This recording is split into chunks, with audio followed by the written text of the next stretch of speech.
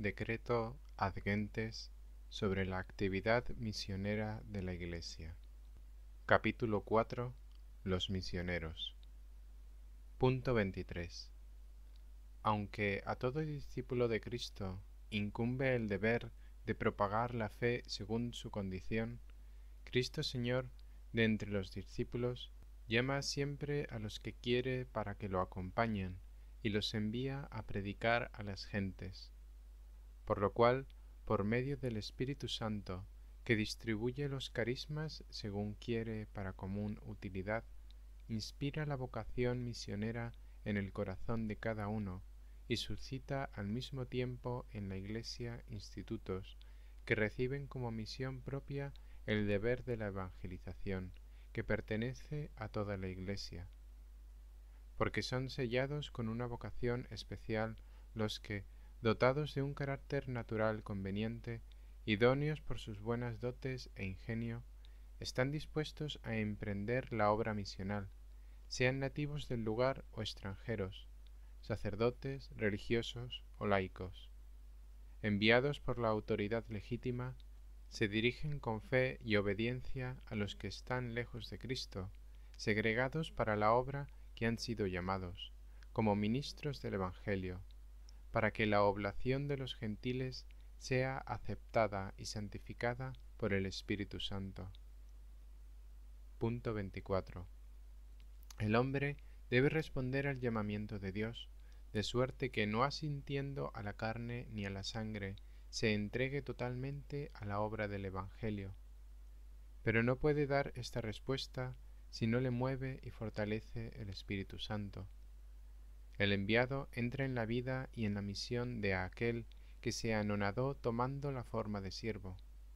Por eso debe estar dispuesto a permanecer durante toda su vida en la vocación, a renunciarse a sí mismo y a todo lo que poseía, y a hacerse todo a todos.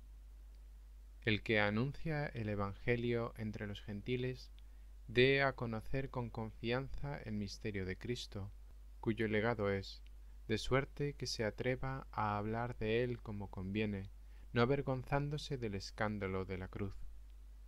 Siguiendo las huellas de su Maestro, manso y humilde de corazón, manifieste que su yugo es suave y su carga ligera.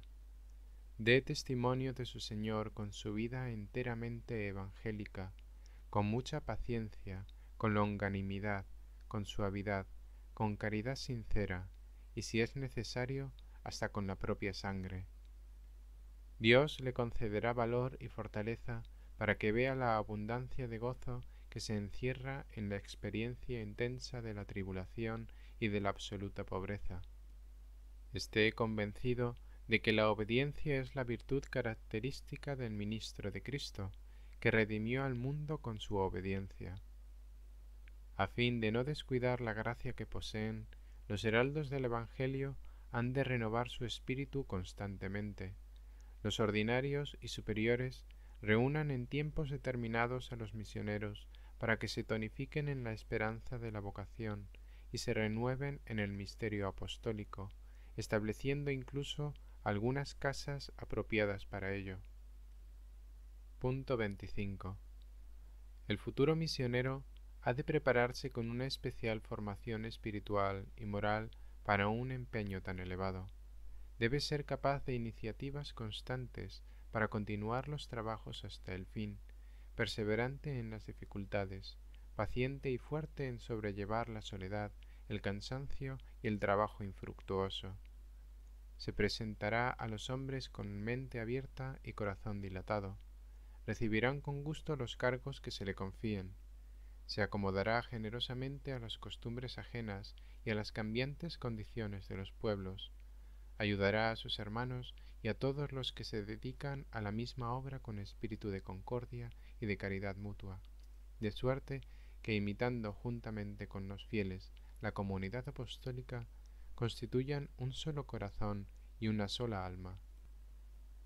Ejercítense, cultívense, y nútranse cuidadosamente de vida espiritual estas disposiciones de alma ya desde el tiempo de la formación. Lleno de fe viva y de esperanza firme, el misionero sea hombre de oración, inflámese en el espíritu de fortaleza, de amor y de templanza, aprenda a contentarse con lo que tiene, lleve en sí mismo con espíritu de sacrificio la muerte de Jesús, para que la vida de Jesús obre en aquellos a los que es enviado. Llevado del celo por las almas, gástelo todo y sacrifíquese a sí mismo por ellas, de forma que crezca en el amor de Dios y del prójimo con el cumplimiento diario de su ministerio.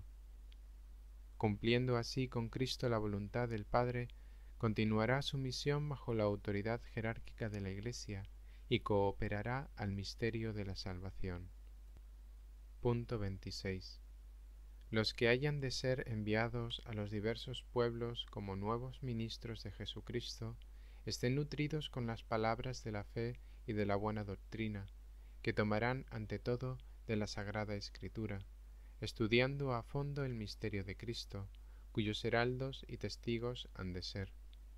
Por lo cual todos los misioneros, sacerdotes, hermanos, hermanas, laicos, cada uno según su condición, han de prepararse y formarse para que no se vean incapaces ante las exigencias de su labor futura. Dispónganse ya desde el principio su formación doctrinal, de suerte que abarque la universalidad de la Iglesia y la diversidad de los pueblos. Esto se refiere a todas las disciplinas con las que se preparan para el cumplimiento de su ministerio y las otras ciencias que aprenden útilmente para alcanzar los conocimientos ordinarios sobre pueblos, culturas y religiones, con miras no sólo al pasado, sino también a la época actual. El que haya de ir a un pueblo extranjero aprecie debidamente su patrimonio, su lengua y sus costumbres. Es necesario, sobre todo, al futuro misionero dedicarse a los estudios misionológicos, es decir, conocer la doctrina y las disposiciones de la Iglesia sobre la actividad misional, saber qué cambios han recorrido los mensajeros del Evangelio en el decurso de los siglos, la situación actual de las misiones y también los métodos considerados hoy como más eficaces.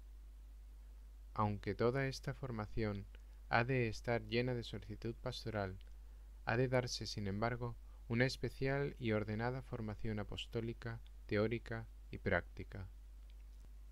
Aprendan bien y prepárense en catequética el mayor número posible de hermanos y de hermanas para que puedan colaborar mejor en el apostolado. Es necesario también que los que se dedican por un tiempo determinado a la actividad misionera adquieran una formación apropiada a su condición. Pero esta diversa formación ha de completarse en la región a la que serán enviados, de suerte que los misioneros conozcan ampliamente la historia, las estructuras sociales y las costumbres de los pueblos, estén bien enterados del orden moral, de los preceptos religiosos y de su mentalidad acerca de Dios, del mundo y del hombre, conforme a sus sagradas tradiciones. Aprendan las lenguas hasta el punto de poder usarlas con soltura y elegancia, y encontrar en ello una más fácil penetración en las mentes y en los corazones de los hombres. Han de ser iniciados, como es debido, en las necesidades pastorales características de cada pueblo. Algunos han de prepararse también de un modo más profundo en los institutos misionológicos u otras facultades o universidades, para desempeñar más eficazmente cargos especiales y poder ayudar con sus conocimientos a los demás misioneros en la realización de su labor, que presenta tantas dificultades y oportunidades, sobre todo en nuestro tiempo. Es muy de desear, además, que las conferencias regionales de los obispos tengan a su disposición buen número de peritos y usen de su saber y experiencia en las necesidades de su cargo. Y no falten tampoco quienes sepan usar perfectamente los instrumentos técnicos y de comunicación social, cuya importancia han de apreciar todos. Punto 27. Aunque todo esto es enteramente necesario para cada uno de los misioneros, sin embargo, es difícil que puedan conseguirlo aisladamente.